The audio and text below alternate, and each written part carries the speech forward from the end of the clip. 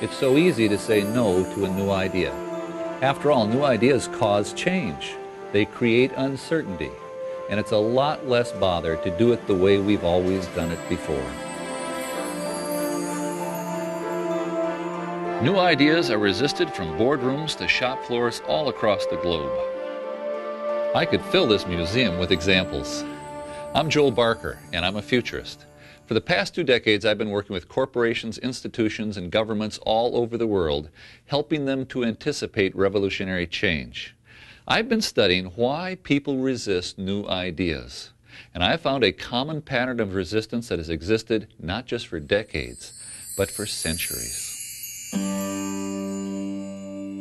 In Venice, between 1610 and 1633, the great scientist and inventor Galileo had to deal with that same pattern of resistance. He was trying to convince the leaders of the day that Copernicus was right when he claimed that the Earth revolved around the Sun and not the other way around. On clear evenings, Galileo invited those leaders to climb to the top of the Tower of San Marco to use his new invention, the telescope.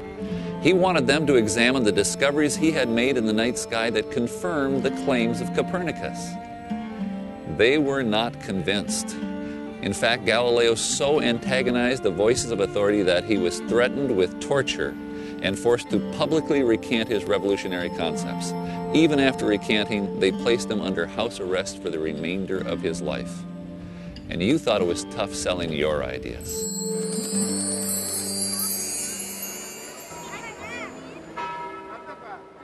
In the end, history vindicated Galileo. But the question here is, what kept those men from appreciating